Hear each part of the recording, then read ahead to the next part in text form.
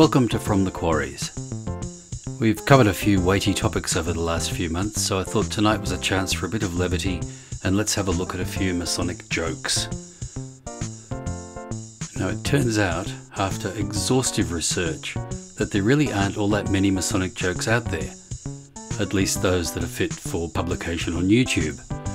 And those that do exist are a bit like Toast to the Visitors. They tend to be regularly recycled and reused. So, in that spirit of recycling, welcome to Masonic Jokes. I'm always keen to hear more, so if you know of any good jokes that you think I may have missed, please leave them in the comments.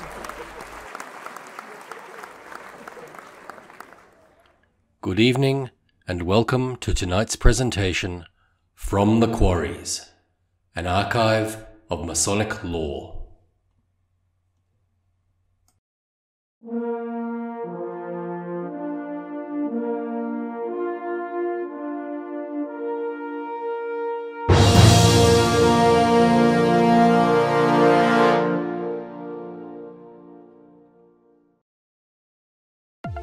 Let's start with the old classic. Just how many Freemasons does it take to change a light bulb? It turns out there are three answers. It's a secret. Three. One to screw it in, one to read the minutes of the previous light bulb replacement, and one to sit on the sidelines and complain that this wasn't the way they used to screw in light bulbs. 20. Two, to complain the light doesn't work. One, to pass the problem either to another committee, the Masonic Council, or the Master of the Lodge. Three, to do a study on lighting in the Lodge. Two, to check out the type of lights that the Rotarians use. Three, to argue about it. Five, to plan the fundraising dinner to raise money for the bulb. Two, to complain, that's not the way we did it before. One, to borrow a ladder donate the bulb and install it, and one to order the brass memorial plate and have it inscribed. A chap went for an interview for a job. Knowing that his new boss was a prominent mason, he decided to use his position as a newly raised master mason to see if it would help him get the job. Off he went with Masonic ring, cufflinks, and a tie to the interview. He stood erect took three steps forward to shake hands, and shook hands in a very special way with his prospective boss. All through the interview, he dropped into the conversation as many references to masonry as he could possibly think of. And at the end, the boss said, So, if I offer you this position, what do you expect as a package? The chap thought his luck was on and he said, Oh, $350,000 per annum and six weeks holiday. To which the boss replied, We will have it, and you begin.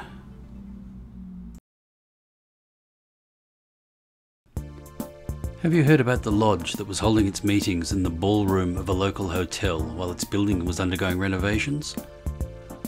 One night, a travelling salesman asked the desk clerk who all those men were going into the room. The desk clerk replied, Oh, those are the Masons. The salesman said, Oh, I've always wanted to join the lodge. Do you think they'd let me in? Oh no, said the clerk. They're awfully exclusive. Why, you see that poor guy standing outside the door with a sword? He's been knocking for six months and they still won't let him in.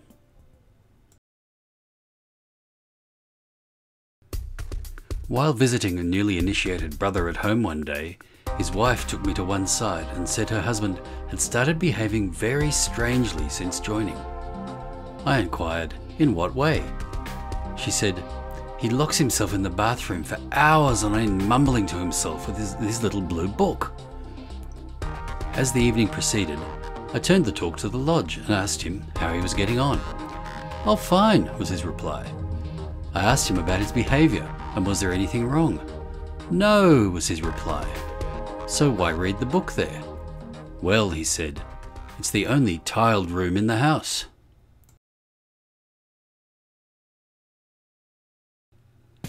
A little before the lodge is about to open, an old man totters up to the tiler and says, I'm here to receive my second degree. Well, they all look at this guy, who really is incredibly old, and they ask him to explain. I was entered on the 4th of July 1922, and now I'm ready for my second degree. So they go scurrying off for the records and look back through the books, and sure enough, there wasn't his name, entered on the 4th of July 1922. Where have you been all these years? What took you so long to be ready for your second? They ask. He replies, I was learning to subdue my passions.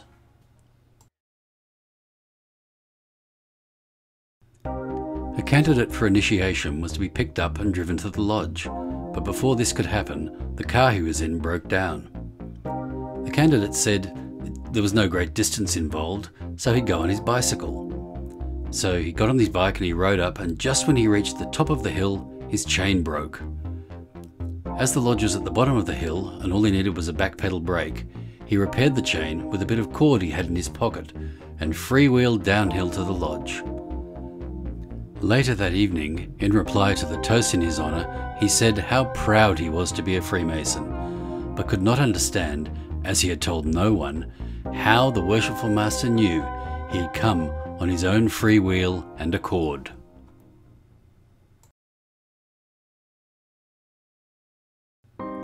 There's a man walking down the street at one o'clock in the morning and he's very drunk. A policeman stops him and asks, Where are you going in that condition? The man says, I'm on my way to a lecture on Freemasonry, officer. The policeman says, Where can you possibly get a lecture on Freemasonry at this time of night? The man replies, From my wife when I get home.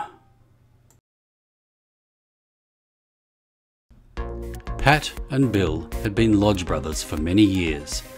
They had promised each other long ago that the first to go to the Grand Lodge above would return to tell the other whether there really were lodges in heaven and what they were like. By and by, it came to pass that Bill went first. One day, shortly after, Pat was working in his garden when he heard a whispered voice. Psst, Pat! He looked around but saw nothing. A few moments later, he heard now quite clearly, Pat, it's me, Bill. Bill, Pat exclaimed, are you in heaven? Indeed I am, said Bill. Pat paused for a while to get over the shock, and then said, Well, Bill, are there lodges up there in heaven? There certainly are, Pat. There are lodges all over, and they are quite magnificent, equal or better to Grand Lodge. The meetings are well attended, the ritual is word perfect, the festive board is fantastic, and the spirit of Masonic fellowship is all pervasive. My goodness, Bill, said Pat. It certainly sounds very impressive, but for all that, you seem rather sad. Tell me, old friend, what is the matter? Well, Pat, you are right. I have some good news and some bad news. Okay, what's the good news? The good news is that we're doing a third this coming Wednesday. Great, said Pat. What's the bad news then? You're the senior deacon. Some few years back, just after the introduction of random breath testing, the police officers of a small country town had to show the community that the DUI task force was working. They decided to stake out the local Masonic Hall. Then, as the night wore on, Eventually, a mason slowly came down the stairs and got into his car. The moment he started the engine, the two officers approached him and asked him to blow in the bag. He did, of course, but to the amazement of the officers, it proved negative. Fearing a faulty bag, they tried again, with the same results. Sure of a possible conviction, they then escorted him to the police station to do a blood test, which also proved negative. Being upset with this, they then asked him what had gone on and what he had done that evening, to which he answered, The Grand Master was there, the Grand Secretary was there, the Grand Stewards were there, and we all had a great time. As to my job, I was the Grand Decoy. The Mason was having trouble with his ritual and was telling a fellow Mason in a pub one day, and his friend said, I know a man down the road who sells parrots who know the ritual, and they'll prompt you when you have any trouble. So the next day, off he went to the shop, and, and the man said, Yes, I have three. And he pulled a curtain across, and there were three parrots one with a Master Mason apron on, one with a Master's apron, and one with a Grand Lodge apron. So he said, How much is the one with the Master's apron? $2,000. And he knows all the ritual, including the inner workings, and will always prompt you when you get stuck. No, that's too expensive. What about the Master Mason? Well, that one's $1,000, and he knows all the ritual, but not the inner workings. But he will always prompt you when you're learning it. No, still too much. What about the one with the Grand Lodge apron on? Ah, oh, you can have him for $10. Why so cheap? He must know all the ritual and the inner workings. Oh yes, he knows all the ritual, but when you make a mistake, all he does is sit there and goes, tut tut tut.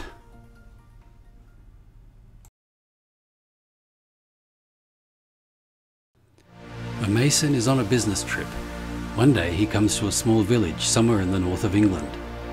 Our brother is curious to know whether there is a Masonic lodge or not, so he takes a walk through the village and after some time he finds a path called Mason's Road. Thinking that the path might lead to the Masonic temple, he follows it. At the end of the pathway, he sees a building, which looks somewhat rotten and seems to have been out of use for quite a while.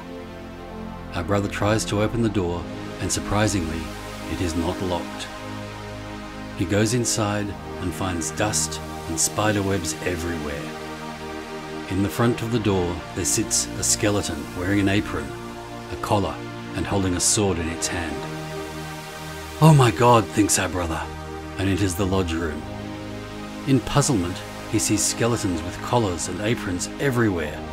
The worshipful master, the wardens, the organist, deacons, all skeletons.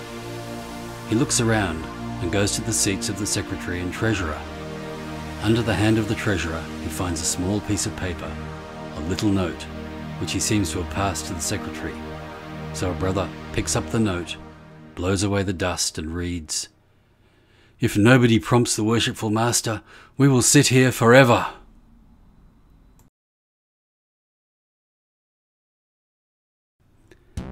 The worshipful master of our lodge found a bottle with a genie in it. In accordance with custom, the genie offered to grant him a wish. Okay, said the worshipful master. I've always wanted to go to Hawaii, but I hate to fly, so my wish is for you to build a bridge so I can drive to Hawaii.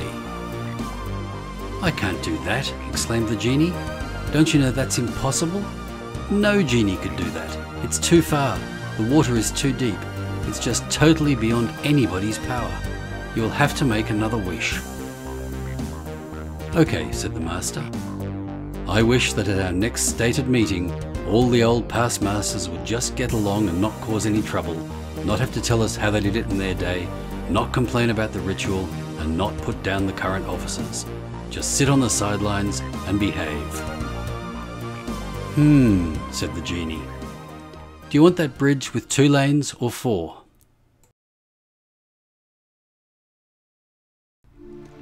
A tired old mason whose hair was grey came to the gates of heaven one day. When asked what on earth he had done the most, he said he had replied to the visitor's toast. St. Peter said as he tolled the bell, Come inside, my brother, you've had enough of hell.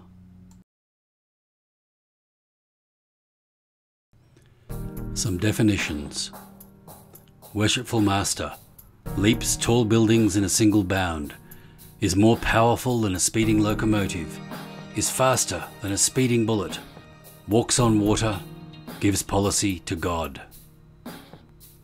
Senior Warden leaps short buildings with a single bound, is more powerful than a locomotive, is just as fast as a speeding bullet, walks on water if the sea is calm, and talks with God.